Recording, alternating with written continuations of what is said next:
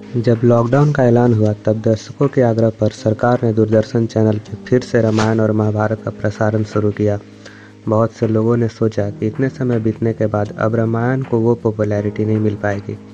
पर जब इसका प्रसारण शुरू हुआ तो ये एक बार फिर से सारे सोच को पीछे छोड़कर टीआरपी की रेस में सबसे आगे निकल गया। आज चाहे कितनी भी टेक्नोलॉजी आगे निकल गई हो वी और स्पेशल इफेक्ट्स का यूज़ हो रहा हो पर आज भी रामानंद सागर की रामायण लोगों के दिल में वैसे ही बसी है जैसे पहले। इस वीडियो में हम बात करेंगे कि आखिरकार इस सीरियल की शुरुआत कैसे हुई और रामानंद सागर को यह सीरियल प्रसारित करवाने के लिए किन किन दिक्कतों का सामना करना पड़ा। ये सारी बातें रामानंद सागर के बेटे प्रेम सागर ने अपने किताब में लिखी हैं। तो अंत तक हमारे साथ बने रहिए और हो सके तो वीडियो लाइक कर दीजिए। रामायण की कहानी उन्नीस सौ छिहत्तर में शुरू हुई।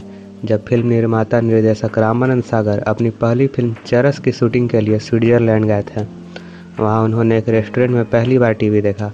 टीवी देखते ही वो चकित हो गए क्योंकि उन्होंने रंगीन टीवी अपनी ज़िंदगी में पहली बार देखा था। उन्होंने उसी वक्त सोच लिया कि वो अब फ़िल्म छोड़कर लोगों को टीवी के माध्यम से रामायण और कृष्ण की कहानियाँ दिखाएँगे। रामानंद सागर बड़े ही उत्साह से रामायण की तैयारियाँ करने लगे। लेकिन फ़िल्म छोड़कर टीवी में आना उनके साथियों और दोस्तों को अच्छा नहीं लग रहा था। आज भी सिनेमा छोड़कर टीवी में आना बहुत से फ़िल्म मेकर्स को आत्महत्या ही लगता है। उनके काम पे कोई पैसा लगाने को तैयार नहीं हुआ, पर वे कैसे भी करके अपने काम में लगे रहें। उन्होंने टीवी पे अपना सबसे पहला शो विक्रम बेताल लाया, जो कि काफ़ी हिट रही। विक्रम और बेताल को तो दूरदर्शन ने अनुमति दे दी थी, लेकिन रामायण का कॉन्सेप्ट न तो दूरदर्शन को अच्छा लगा, न ही तत्कालीन कांग्रेस सरकार को। जैसे तैसे दूरदर्शन को मनाने के बाद दूरदर्शन तो मान गया, लेकिन उस वक्त की कांग्रेस सरकार इस पर आनाकानी कर रही थी। सूचना और प्रसारण मंत्री बी एन गाडगिल को डर था कि ये धारावाहिक न केवल हिंदुओं में गर्व की भावना को जन्म देगा, बल्कि तेज़ी से उभर रहे भारतीय जनता पार्टी को भी इससे फ़ायदा होगा। रामानंद सागर को काफ़ी संघर्ष करना पड़ा। वे दिल्ली के चक्कर लगाया करते थे, घंटों मंडी हाउस में खड़े रहकर अपनी बारी का इंतज़ार करते थे। कभी कभी होटल अशोका में ही रुक जाते थे। एक बार रामायण के पंक्तियों को लेकर कई अधिकारियों ने उनका मज़ाक भी उड़ाया। ये वही समय था जब अंडरवर्ल्ड दुबई से बॉलीवुड को कंट्रोल किया करता था। आखिरकार उन्नीस सौ छियासी में अजीत कुमार पंजा ने सूचना और प्रसारण का पदभार संभाला और रामायण की दूरदर्शन में एंट्री हो गई। लेकिन रामानंद सागर अभी भी काफ़ी सतर्क रहते थे। वे प्रसारण से आधा घंटा पहले ही सीरियल की कॉपी दूरदर्शन को देते थे ताकि वो कोई सीन काट न दें।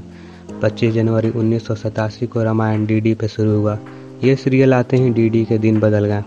सीरियल इतना हिट हुआ कि सड़कों पे अपने आप ही जनता कर्फ्यू लगने लगा। उस वक्त एक एपिसोड बनाने में करीब करीब एक लाख का खर्चा आता था। राम बने अरुण गोविल और सीता बनी दीपिका की प्रसिद्धि फिल्मी कलाकारों के बराबर हो गई। अस्सी के दशक में पहली बार रामायण का प्रसारण हुआ और नब्बे आते आते महाभारत की भी एंट्री टीवी पे हो गई। नब्बे के दशक में धार्मिक सीरियल्स को अपना प्रभाव बढ़ाते देखकर कम्युनिस्ट पार्टी के लोगों ने इस बात की शिकायत राष्ट्रपति से कर दी कि एक धर्मनिरपेक्ष देश किसी एक धर्म को बढ़ावा देने वाली चीज़ें दूरदर्शन जैसी राष्ट्रीय चैनल पर कैसे दिखा सकती है। इससे हिंदुवादी माहौल बनता है, जो धर्मनिरपेक्षता के लिए खतरा है। इसी वजह से सरकार ने उन दिनों अकबर दी ग्रेट टीपू सुल्तान, आलिफ लैला और क्रिश्चियंस के लिए दया सागर जैसी सीरियल्स की भी शुरुआत दूरदर्शन पर करनी पड़ी थी। इस वीडियो में फ़िलहाल इतना ही। अगर वीडियो अच्छी लगी हो तो लाइक करें, अगर बहुत अच्छी लगी हो तो शेयर करें।